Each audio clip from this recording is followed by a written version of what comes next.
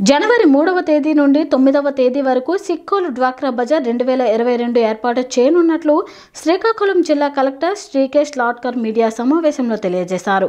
Code Rammurthy మైదానం arts కళాశాల దగ్గర ఉంటుందని ప్రతిరోజు ఉదయం పది గంటల నుండి రాత్రి పది గంటల వరకు ఉంటుందని ఆయన పేర్కొన్నారు.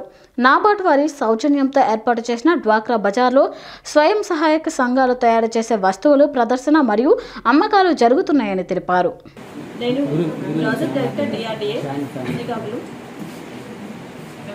స్వయం సహాయక సంఘాలు గ్రామీణ ప్రాంతాల్లో ఉండే స్వయం సహాయక సంఘాల మహిళలు వివిధ రకాల జీవనోపాధి మార్గాలను ఎంచుకొని వాళ్ళు ఏవైతే ఉత్పత్తులను తయారు చేశారో ఆ ఉత్పత్తులకి మార్కెటింగ్ సౌకర్యం కలిగించి వాటిని ప్రజల్లోకి తీసుకువెళ్ళి వాళ్ళకి వాటికి ఆ వస్తువులకి ఆదరణ కల్పించడం ద్వారా వాళ్ళకి ఆర్థికంగా సహాయపడాలనే ఉద్దేశంతో ఈ డ్వాక్రా బజార్ అనే ఒక ప్రోగ్రామ్ని గత సంవత్సరం అంతకు ముందు సంవత్సరం కూడా కండక్ట్ చేయడం జరిగింది డిఆర్డిఏ సర్కిల్ ద్వారా.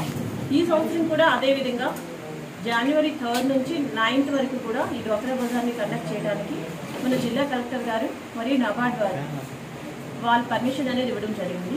దీనికి ఆర్థిక సహకారం నబార్డ్ అందిస్తుంది. దాంతోపాటు మరికొంతమంది కొన్ని బ్యాంక్స్ కూడా ఆర్థిక సహకారం అందించడానికి ముందుకు వచ్చాయి దీని ముఖ్య ఉద్దేశం అంతా కూడా ఈ ఎస్ఎస్జి ఉమెన్ యొక్క ప్రోడక్ట్స్ తయారు చేసిన ప్రోడక్ట్స్ని మార్కెటింగ్ సౌకర్యం కల్పించి వాళ్ళని ఆర్థికంగా ముందుకు తీసుకువెళ్ళాలనే ఉద్దేశం. సో దీనికోసం ఈ డ్వాక్రా బజార్ని నిర్వహిస్తున్నందుకు ఈ శ్రీకాకుళం జిల్లాలో కోడి రామూర్తి స్టేడియంలో నిర్వహిస్తున్నాం. దీనిని ప్రజలందరూ కూడా ఆదరించి ఆ మహిళలు తయారు చేసిన ఉత్పత్తులను కొని వాళ్ళ వాళ్ళ యొక్క ఉత్పత్తులకి ప్రోత్సహించి వాళ్ళ ఆర్థిక వికాసానికి తోడ్పడతారని దానికి మీ ప్రజలందరి వంతున సహకారం అందిస్తారని నేను ఆశిస్తున్నాను.